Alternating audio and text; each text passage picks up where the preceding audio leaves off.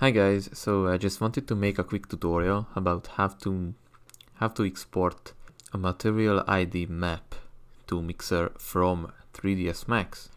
So Substance Painter can recognize face material IDs and Mixer cannot. At least I couldn't find a way to do it. So um, so I'm showing you how to render out a face material ID texture map, which you can then assign in Mixer. Uh, all you need to do is assign material IDs to your model as you want them and and then make a multi-material with standard materials and set the self-illumination to random colors. Uh, and yeah, use the self-illumination color, not the diffuse color, because then you won't see anything.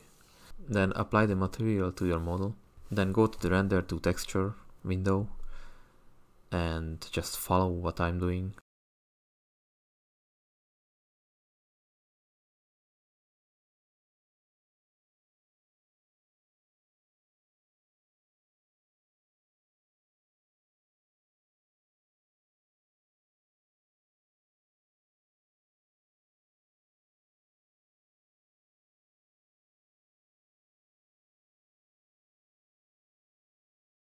and then just save the map.